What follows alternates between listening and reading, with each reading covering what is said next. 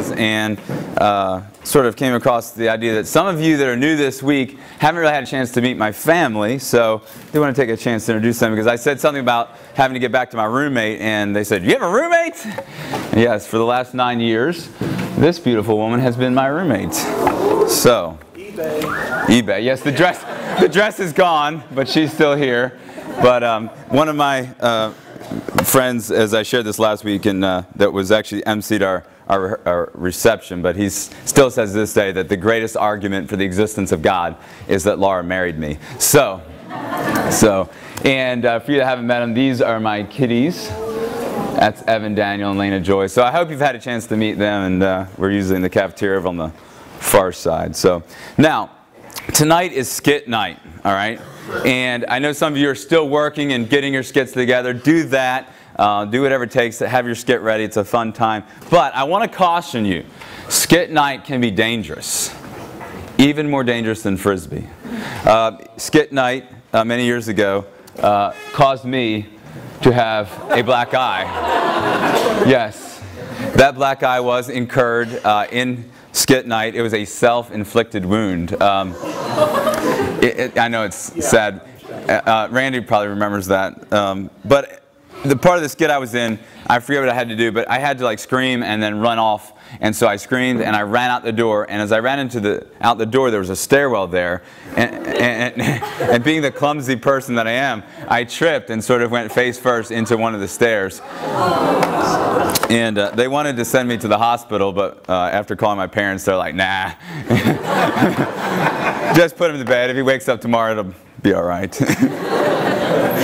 So I just wanted you to be careful tonight, all right? Let's uh, try not to have any uh, skit night injuries. Well, it is July 4th. It's a day that we celebrate freedom. Yes, you're ready. And it's an opportunity for us today to talk about freedom. And that's what I wanted to talk to you about.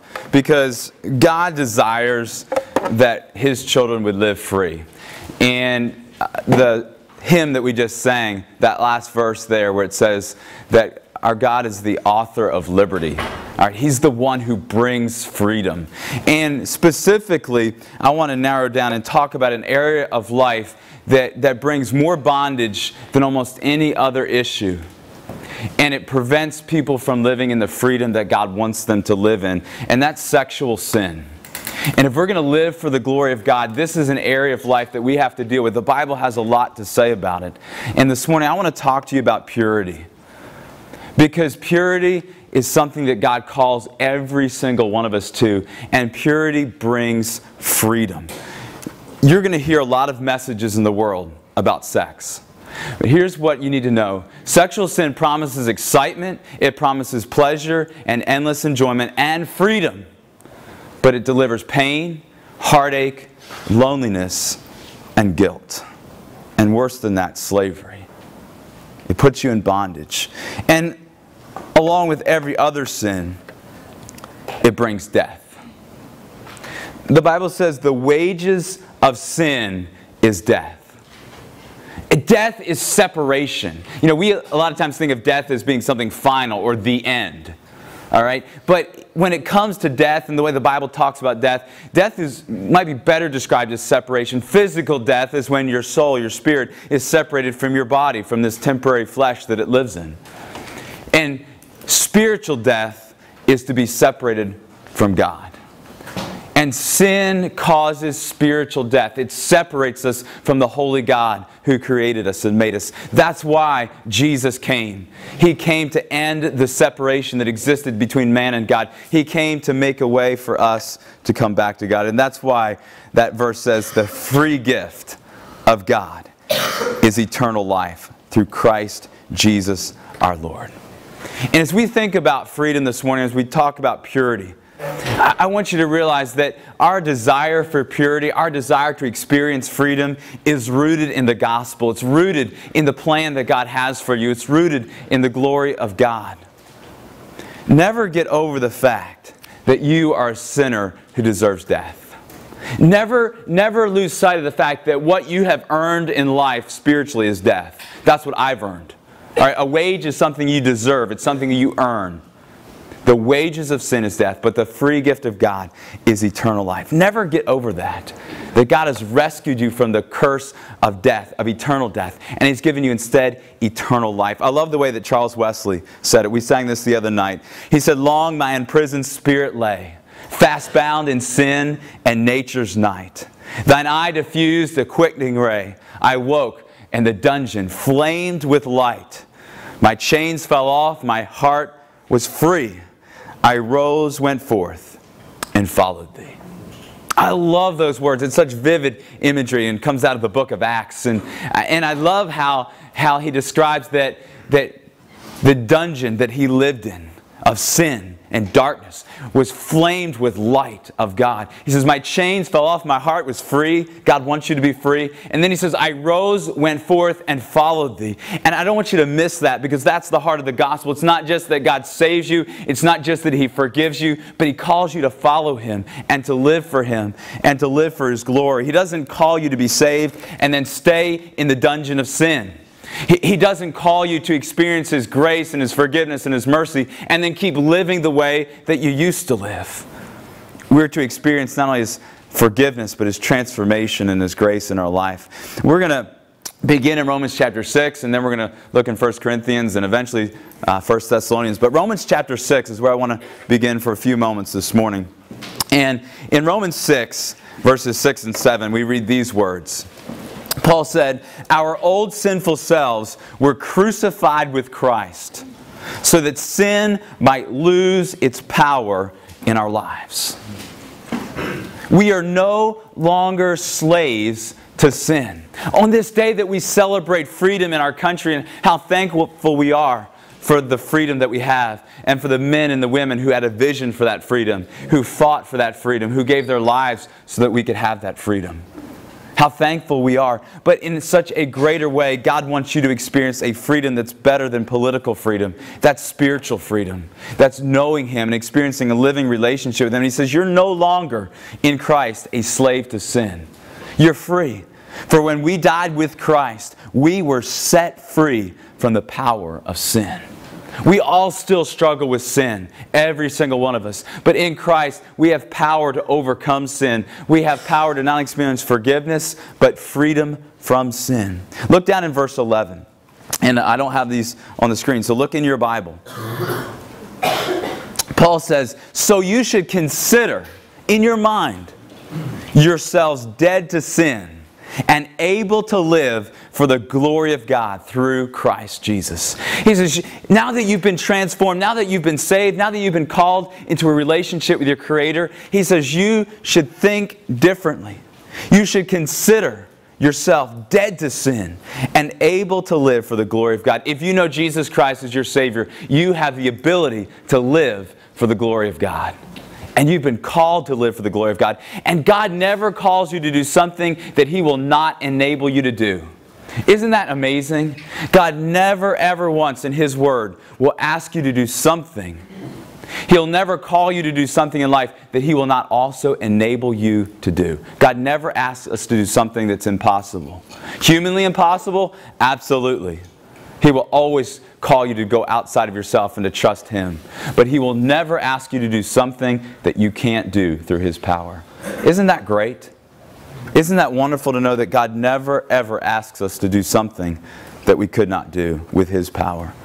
So in verse 12, He says, Do not let sin control the way that you live because sin brings bondage. Sin steals our freedom. So he says, don't give in to its lustful desires. Don't let any part of your body become a tool of wickedness. Some of your translations may use the word instrument, which is really fitting there. He says, Don't let your body be an instrument of wickedness to be used for sinning, but instead give yourselves completely to God since you have been given new life. You see, the whole basis for following God and living for Him and living for His glory is what He's done for us. It's a response to His love and His grace and His mercy. It's a response to saying, I used to be a sinner. I used to be chained in a prison of darkness. I was in a dungeon, but the dungeon was filled with light. God took my chains off. He's called me to know Him and to live for Him. That's the basis. That's the motivation for living for His glory. It's not because we're trying to earn His approval. It's not because we have to do any works to save ourselves. He's already saved us. It's precisely because we've experienced His grace and His mercy and His love, because we've been given new life. And he says, use your whole body as an instrument, as a tool to do what is right for the glory of God. That's what we've been talking about last week and this week is living for God's glory. He says, use your whole body as an instrument, as a tool for the glory of God. Sin is no longer your master, for you are no longer subject to the law which enslaves you to sin. Instead, you are free by God's grace. Aren't you thankful for that? We have been set free, and God wants you to live free. He wants you to experience His freedom. Jesus came and died on the cross so that you could be free and so that we could live in freedom. And if there's an area of life in which so many times followers of Christ have forfeited the freedom that they should be and could be enjoying, it's in the area of sexual sin. Throughout the Bible, we see men constantly dealing with sexual sin, ruining their lives. And we realize godly people struggle with this area. And if you're going to live for the glory of God, you have been called to live purely. Purity is essential for living for the glory of God. God created sex. He created it, He designed it. Can we just get that on the table? It was His idea. All right? And as such, we'd say, what does the Creator have to say about this? If He designed it, if He made it, will we be willing to trust His plan? The world is going to tell you that sex brings freedom, that purity is just a silly idea, and that there is no restrictions and there's no boundaries. And the idea of living purely will be laughed at, you'll be mocked, you'll be made fun of, you'll be looked down on. You'll be considered foolish or ignorant or backward. But I want you to know that in a society that disregards God and His ways, you've been called to live differently. God created a bound marriage between a man and a woman. All right, Jesus affirmed God's position on marriage. Mark chapter 10, you can read it. He very clearly said, a man and a woman. And that's the place that God has created for sex. Purity is something that God calls us to. And here's what I want you to realize it's good for you. God has a good plan for you. You can trust your Heavenly Father. Why? Because purity paves the way to freedom. It's essential to living for the glory of God, and it brings freedom. I don't know about you, but I want to live free. I want to live free in Christ. I want to enjoy the freedom that He paid for. You know, we in this country enjoy incredible freedom. It was paid for and is being paid for by the blood of men and women who serve our country and defend and protect our freedom. Our freedom in Christ was paid for by Jesus Himself with His blood on the cross. And I want to enjoy and live in the freedom that God's called me to, and I want you to as well. Freedom comes through purity. Not only freedom, but intimacy. Purity paves the way to be close to God. It paves the way for you to be close to your spouse one day. It's worth it. It brings freedom from the unnecessary hurt and pain and stress and fear and heartache, from disease, from guilt, from loss of intimacy. God has a good plan for you. Look in 1 Corinthians 6:18. Because freedom, uh, purity doesn't restrict freedom, it brings freedom. Doesn't restrict freedom, it brings freedom. The exact opposite of what the world will tell you is what actually happens. And this is what Paul said about it as he wrote to the church in, in, in, Corinth, in uh, Corinth.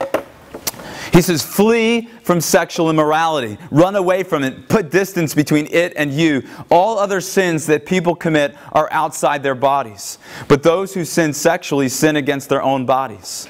Do you not know that your bodies are temples of the Holy Spirit who is in you, whom you have received from God. You are not your own. You were bought at a price. Therefore, honor God with your bodies. You see, this body that you have, the Bible says that if you're in Christ, if you know Jesus as your Savior, that God Himself has taken up residence in you. His Holy Spirit lives in you. He's with you. And He's with you everywhere you go. And He's with you in everything that you do. And He says, You need to realize that once you come to know me and you're in Christ, it's not about you anymore. It's not your life anymore. A lot of times we say, Well, it's my life. Right? Have you ever said that or heard somebody say that? It's my life. I'll do what I want. But if you're in Christ, it's not your life. It's Christ who paid for you, who bought you, who purchased you. Your life belongs to Him. He says, You are bought with a price. Therefore, honor God with your body. God desires to be glorified in your body. It belongs to Him. It's part of His temple. And sexual sin is destructive because it will rob the intimacy, the closeness that you can have with God. He won't leave you. He'll never leave you or forsake you, no matter what you do in Christ. Sin can never change the status of your relationship with God. You didn't do anything to earn your salvation when you received Christ. We don't do works to keep our salvation. But what it will do, it was, will, will rob the closeness that you have with God. It'll put distance in your relationship and your fellowship with God. And it will affect your future greatly. 1 Thessalonians chapter 4, verse 3 says this It is God's will that each of you should be sanctified. That means set apart. That you should avoid sexual immorality. And that each of you should learn to control your own body in a way that is holy and honorable. Not in passionate lust like the pagans who do not know God. He says, we just shouldn't live like we don't know God. We should live differently. He says in verse 6 And in this matter, no one should wrong or take advantage of a brother or sister. For the Lord will punish all of those who commit such sins, as we are told and warned you before. For God did not call us to be impure, but to live a holy life. I want you to back up and look at verse 6 for a minute with me. Because here's the thing not only is sexual sin sin against God, not only is it sin against your own body, the Bible says, but, but look at what he says in verse 6. He says, and that in this matter no one should wrong or take advantage of a brother or sister. You see, in our walk with Christ, God calls us to view each other as brothers and sisters because we have been adopted into the same family. So if you're in Christ, you are part of my family and I'm part of your family. You're my brothers or my sisters in Christ. All right? We have one Father who's God, right? And so he says we need to relate to each other as brothers and sisters. And he says sexual sin isn't just sin against God, isn't just sin against yourself, which it is, but he says you're taking advantage of your brother or your sister, and you're inviting them and bringing them into sin. As you are dealing with the issue of purity and sexuality, if you're not yet married, God calls you to see those of the opposite sex as a brother or as a sister and to treat them like one. And if you keep that in your mind, that'll go a long way to helping you, won't you? It'll go a long way to helping you. God calls you to see them as brothers and sisters. And I want you to know something else. And a lot of several of you are married in this room. Purity is not just something that you deal with before marriage. It's a lifelong pursuit. And it's a lifelong necessity. And it's a lifelong challenge for every single one of us. No one is exempt from temptation. We talked about that yesterday. And especially in this area, godly people who love God with all their heart struggle with this. And God calls us to live a life of purity, to live differently, and to treat anyone who is not our spouse as a brother or sister in Christ. God wants you to experience freedom, and purity paves the way for freedom. To live a life for the glory of God, you need to live a life of purity. And purity will bring freedom and intimacy. John chapter 8, verse 34. Jesus said this Truly, truly, I say to you, everyone who commits a sin is a slave to sin. You see, we're free, but we can still act like slaves. We've been set free by Christ. We're no longer slaves to sin, but we can still choose to act like slaves and live like slaves. And God doesn't want you to live that way. I don't want you to live that way. I want you to be able to experience the freedom that purity can bring. Here, here's the issue when it comes to purity God has set the boundary very clearly that sex and sexual activity is reserved for marriage between the union of a husband and a wife. It's a good thing, it's a beautiful thing. God created it, He designed it, He called it good. It is good.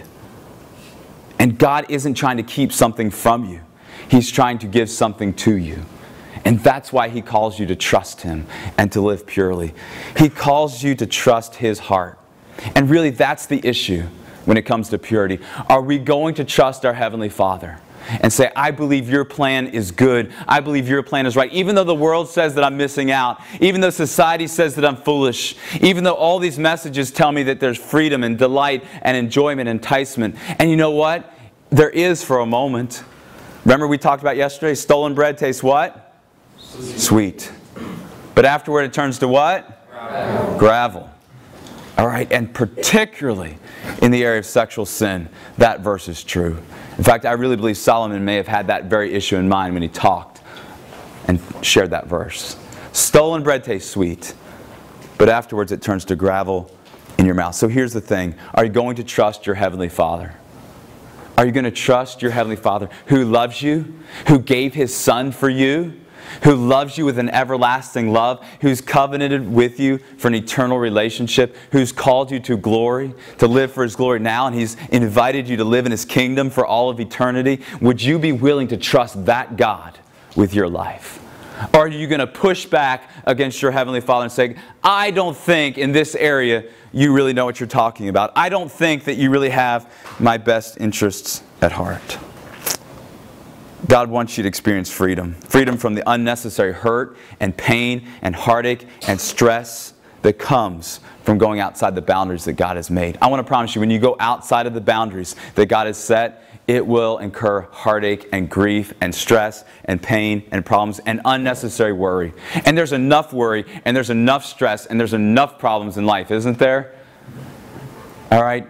We don't need to create more for ourselves. The challenge to live a pure life is the opportunity to live a free life. The challenge, the call to live a pure life is the opportunity to live a free life. And God wants you to live freely.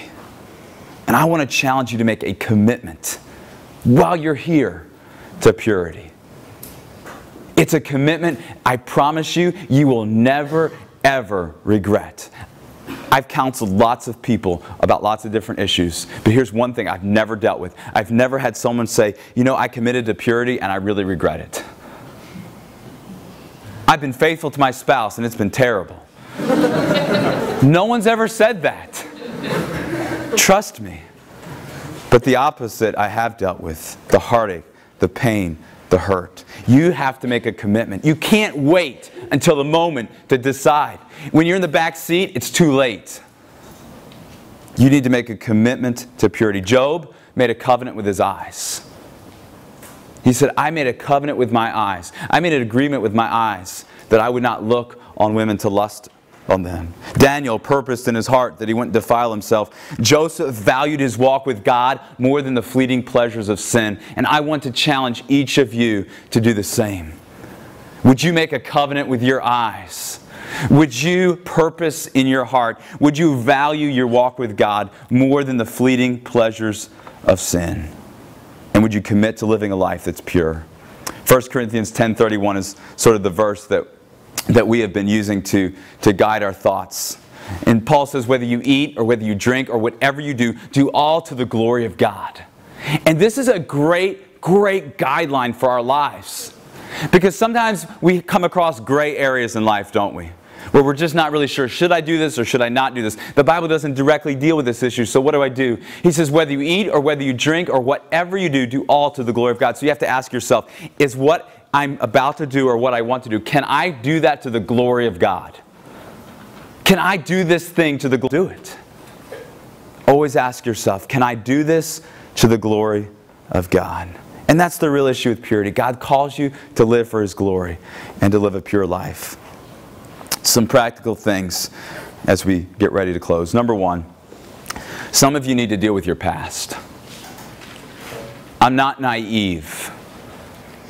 I may be old enough to be your dad, and I am, but I'm not as naive. I know that this has probably been a struggle for some of you, and some of you have already crossed lines that you should not have crossed. And here's what I want you to know you need to deal with that. Your Father in heaven sent His Son He died for that sin. It's already been paid for, but you need to bring it to God and you need to allow His forgiveness to touch that area of your life. And you need to know this our God is a God who forgives any and all sin, and our God is a God who heals and restores. And if you've sinned, you need to deal with it, but I want you to know that God will forgive you and He will restore you, and He can help you to start and begin to live purely now. And that's the most important thing that you can do. Know that God's grace is greater than all your sin. Aren't you thankful for that? I am. I'm thankful that God's grace is greater than all my sin. His love goes further, His grace runs deeper. Deal with your past. Number two, deal with your present. Some of you are in a relationship with a guy or with a girl, and it's not healthy, and you know it. And it may be very well that when you go home, you need to break up. And I don't say that lightly. I know that's not fun. That could be scary. You may genuinely feel like you love that person. But if your relationship isn't honoring to God, if it isn't healthy, if it isn't pure, you need to break up. You need to distance yourself from that. You need to get help. You need to get accountability. I know for some of you, this is your verse this week uh, for your uh, devotions. But 2 Timothy 2.22 says this, Flee the evil desires of youth and pursue righteousness, faith, love, and peace, along with those who call on the Lord out of a pure heart. You need to do this with others. We need to encourage one another in our pursuit for purity. We need to push each other, challenge each other, hold each other accountable. Flee the evil desires of youth. Pursue righteousness, faith, love, and peace. And Paul says, and this is Paul writing to Timothy, whom he treated as a son. He had led Timothy to Christ, faith in Christ. He had been a mentor and a father figure in his life. And Paul is about to die when he writes this. He's in a Roman prison. His execution is looming. Is the last thing that we have written from Paul. And he shares his heart and he says, Timothy, he says, pursue faith, righteousness, love, peace, along with those who call on the Lord out of a pure heart. He says, find some people who want to do the right thing and run with them and stick with them and encourage each other. Deal with your present. Number three, deal with your future. Commit to purity. I want to challenge you to make a commitment to purity. No matter what your past is like, maybe up to this point God has kept you pure. That's awesome. Keep that commitment and honor that. Maybe you haven't been, but you know what? You can start fresh. Our God is the God of second chances and fresh starts. And you could say, from this moment on, from this point, I'm going to live differently. By God's grace and by His power and for His glory, I'm going to live differently. Here's what I want you to do I want you to write it down. I want you to write down, in your own words, a commitment to purity. There's something powerful about what we write. I want you to write it down. Take some time before you leave camp. Some of you are leaving Saturday. Some of you get to stay for another week. Some of you, two more weeks. I'm jealous. I'll admit it. But I want you to commit to it. Before you leave, write it down. And then I want you to put it somewhere where you can look at it every day. Tape it on the inside of your Bible. Write, put it somewhere where you'll see it so it's before you, so you'll remind yourself of your commitment. And then I want you to do some crazy things, like maybe tell your parents. Tell your parents, say, you know, mom, dad, I just want you to know I'm committed to purity. They will love you for that. tell your friends, anyone who wants to date you, Tell them about your standards and say, hey, if you're not okay with my standards, you might just want to move along. Tell your pastor, tell somebody, just say, you know, I want everyone to know this is my commitment. Because when we go public with our commitment, it brings a level of accountability that will help us. Paul shares these words in Philippians, and I'll close with them this morning. He says, This is my prayer for the believers in, in Philippi that he loved dearly. He says, This is my prayer that your love may abound more and more in knowledge and depth of insight.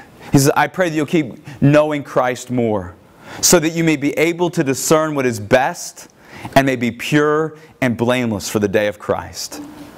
Filled with the fruit of righteousness that comes through Jesus Christ to the glory and praise of God. He prayed for them. He says, I pray that you'll be pure and that you'll be blameless because Jesus is coming again. That's our great motivation. We're going to see him one day.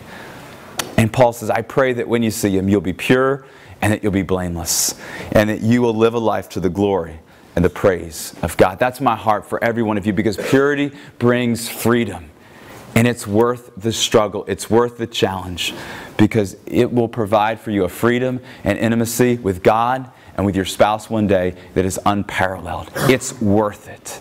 And it's my heart for every one of you to not experience the heartache and the pain and the shame and the regret that comes from sexual sin, but to live purely and to live for Christ. Let me pray for you this morning. Father, I just come before you right now. I'm thanking you and praising you for your, your word to us. I thank you that, that your word delivers, Father, truth that we all need to hear. And Father, I pray in this area of purity that you'd help every one of us, from me to each camper, to each counselor, to each faculty member, to live lives of purity because you call us to it. And Father, I pray that, that we would see that this call to purity is a call to honor you, to glorify you, and it's a call to experience your freedom in our life. Father, I pray for anyone in this room who's struggling in the area of purity. Father, in their past or maybe even in their present, there's sin. And Father, I pray that they would realize the need to repent, to turn, and to come to a Father who's waiting to forgive them and waiting to restore them, waiting to heal them, and waiting to empower them to live differently. And Father, for those who desire and have been living purely, Father, may we all commit afresh and anew to living with purity, to making a commitment, to writing it down, to keeping it before our eyes, so that may we, we may glorify you, live in your freedom, and be pure and blameless on that day when we stand before you. Father, I pray that your grace would be at work powerfully in our hearts and our lives for your glory. And Father, we ask this in Jesus' name. Amen.